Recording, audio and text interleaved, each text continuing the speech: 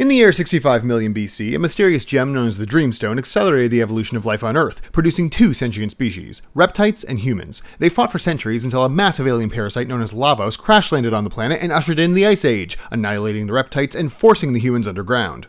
Lavos lay dormant for millions of years, influencing and cultivating Earth and its life forms in order to harvest their energy and produce genetically enhanced spawn of itself to repeat the cycle on other planets. Lavos would reap the planet's energy until the Day of Lavos in 1999 AD when it erupted from the earth and rained apocalypse down on human civilization. But in the year 1000 AD, when Princess Marle volunteers to demonstrate a teleportation device made by an inventor, Lucca, her magical pendant reacts and creates a time portal.